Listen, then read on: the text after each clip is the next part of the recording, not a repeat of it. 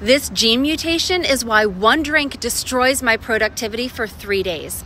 I had performance DNA testing done to use health as a strategy for success, and my DNA results show that I metabolize alcohol slowly through the ADH1B and ALDH2 genes, which leads to more inflammation and fatigue the next day.